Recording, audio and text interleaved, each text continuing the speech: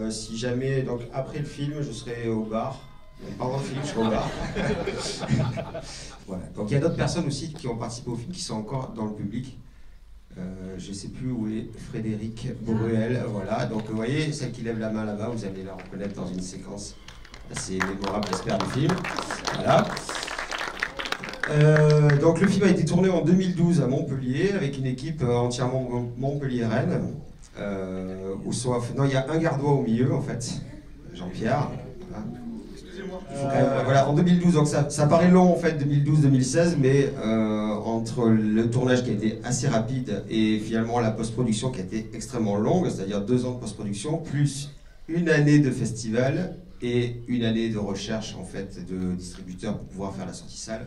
Vraiment très fier de pouvoir le présenter en salle parce que le film a été vraiment conçu pour être présenté en salle en 3D.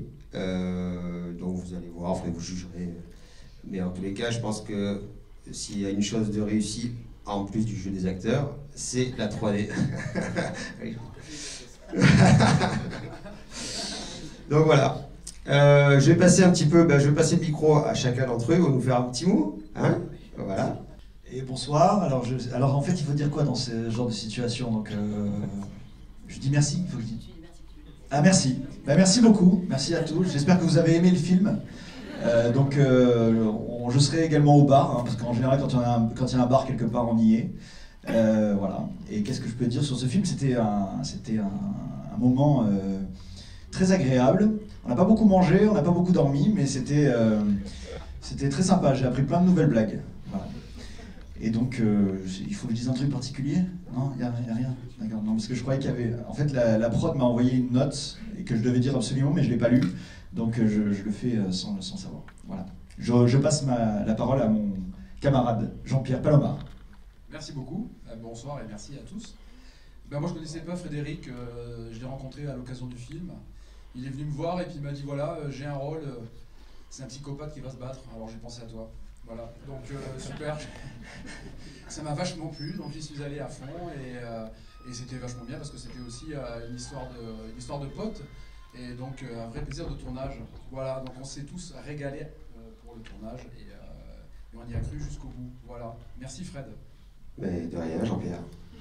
Euh, alors moi aussi en fait il est venu me voir pour me dire qu'il avait un rôle de euh, gogo danseuse euh, bourrée qui se, qui se bourrait la gueule en fait. Donc il avait pensé à moi. Donc euh, j'étais très fière. Et euh, voilà, j'espère que vous allez beaucoup apprécier cette scène. Au cours de laquelle on a dû boire approximativement 257 bières, je pense, que sec. 258. exactement. 258, voilà, merci Fred. Oui, d'ailleurs, oui, c'est vrai. Il y a eu des scènes qui ont été tournées sous bière, enfin, vous verrez. Bonsoir. Merci, alors c'est ça qu'il faut dire. Ensuite, eh ben, moi aussi je serai au bar après. Et euh, moi j'ai pas bu d'alcool du tout. Pourtant, euh, moi mon rôle c'était d'être une euh, barmaid. Donc je crois que je me suis fait arnaquer. Voilà. Du coup, je, on parlera après, hein, d'accord Pas de souci. Voilà, ben, euh, écoutez, bon film. On va commencer. Je sais pas si. D'accord, ok, voilà. Écoutez, euh, merci encore d'être là. Et puis, euh, j'espère que vous apprécierez le film. Quoi. Au revoir.